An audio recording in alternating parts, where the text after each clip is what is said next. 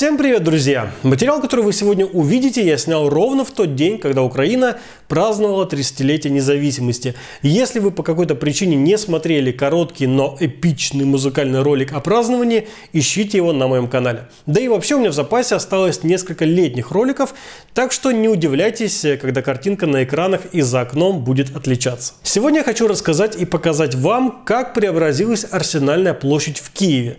Устраивайтесь поудобнее, заваривайте чаек, забирайте 2500 гривен от паримач по ссылке в закрепленном комментарии.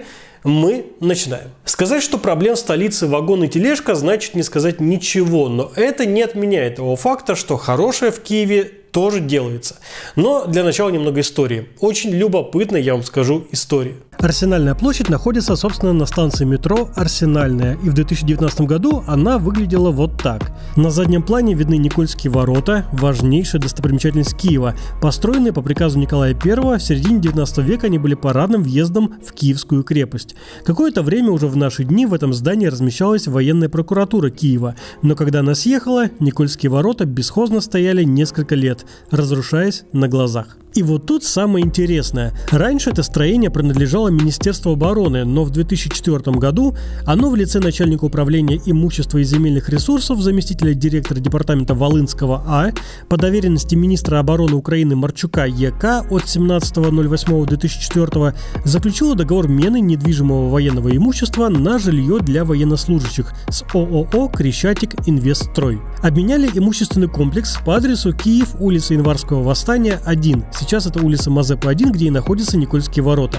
Экспертной стоимостью 18 миллионов 656 тысяч гривен на жилой дом 196 квартир в Харькове по улице Свинаренко 18. Причем площадь обеих недвижимостей оценили в абсолютно одинаковую сумму. Как пишет издание Киеввласть.com.ua, впоследствии ВСК выяснило, что квартиры в собственности Минобороны так и не были оформлены, а военнослужащие не заселены. В общем, друзья мои, типичные мутки-баламутки с землей, которая из государственной через продажи и последующие перепродажи стала частной. 26 августа прошлого года участок площадью 0,8 гектара, на котором, собственно, и стоят Никольские ворота, был зарегистрирован на ООО General Commerce, а участок площадью 1,12 гектара, это территория перед Никольскими воротами, на ООО Whitecon.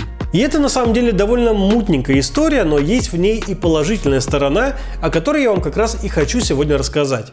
Если государство не может или не хочет заниматься культурным наследием, то частник всегда думает о том, какую прибыль для себя он может извлечь. И самый лучший способ получать эту прибыль – это, конечно же, сдавать в аренду все приобретенные площади. Не буду больше вас долго томить, отправляемся на Арсенальную площадь. Летом 2020 года было объявлено о начале реконструкции Арсенальной площади и Никольских ворот за счет частных инвесторов, которых мы с вами уже знаем. А эта съемка, как я уже сказал, проводилась в День независимости Украины, то есть летом 2021. Если верить информации, которую я нашел, были укреплены фундамент и склон парковой зоны, потому что правое крыло здания было в критическом состоянии.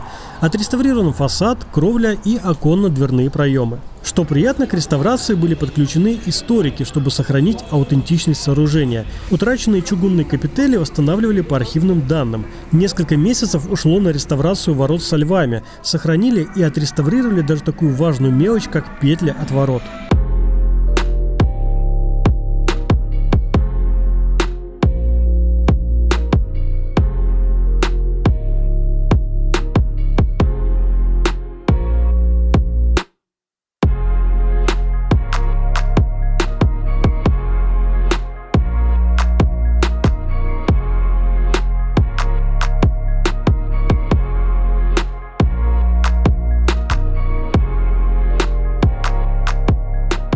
На момент съемок сухой фонтан еще не работал, его открыли чуть позже, но уже работали различные заведения. Особенно хочу отметить четко выдержанный дизайн-код. Вывеска каждого заведения оформлена в едином стиле.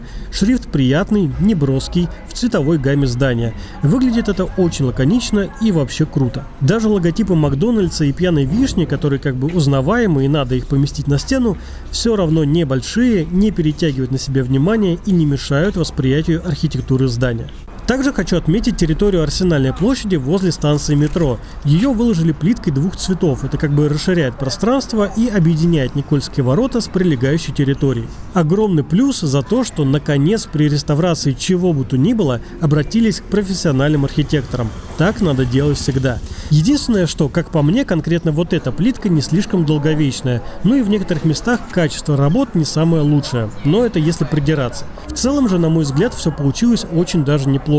Смущает меня только один момент. Главный архитектор проекта Татьяна Лысюк заявила, что когда реконструкция будет полностью окончена, а это вроде как произойдет через пару лет, попасть к Никольским воротам можно будет с Арсенальной площади, как сейчас, либо через скрытую аллею, которая будет создана между ними и новым бизнес-центром. Новый объект Estation Business будет иметь 6 этажей. Это офисные помещения на верхних этажах и коммерческие на нижних. Честно говоря, не знаю, насколько уместно строить стекляшку возле памятника архитектуры. Впрочем, для Киева это не впервой. Если посмотреть на проект, то с одной стороны визуально эта крыша соединяет с собой старину и современность. С другой стороны несколько загораживает и прячет фасад Никольских ворот. Что вы думаете об этом, обязательно напишите в комментариях. Как по мне же, главное во всей этой слегка запутанной истории – Пожалуй, все-таки то, что одна из важнейших киевских достопримечательностей не будет утрачена, и можно сказать, что она получила вторую жизнь. Ставьте большой палец вверх, подписывайтесь на канал и обязательно жмякайте колокольчик, чтобы ничего не пропустить. Всем спасибо и пока.